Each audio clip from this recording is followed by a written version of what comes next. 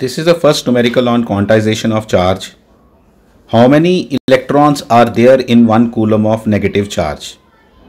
एक बॉडी पे negative charge है, इसका मतलब है उस पर एक्सेस इलेक्ट्रॉन्स हैं वही हमने एक्सेस इलेक्ट्रॉन्स फाइंड करने हैं कि वो एक्सेस इलेक्ट्रॉन्स हैं कितने और उसको फाइंड करने के लिए इस क्वेश्चन के अंदर हम लोग यूज़ करेंगे quantisation of charge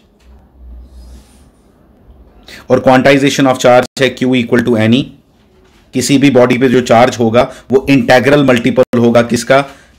charge on each electron का।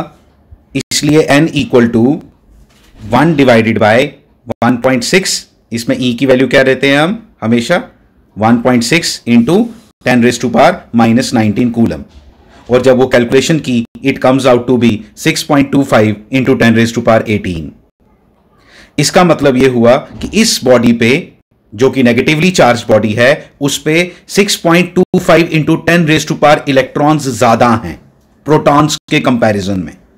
और वो मैंने उसको फिगर को ज़ीरो की टर्म्स में भी लिखा है, ये बताने के लिए, आपको सिर्फ़ डिमॉन्स्ट्रेट करने के लिए कि देखो, एक कूलम कितना बड़ा चार्ज है। इतने अगर इलेक्ट्रॉन्स उसके ऊपर ज़्यादा होंगे तो जाके हमें पता चलेगा कि उसके ऊपर कितना चार्ज है वन कूलम चार्ज है।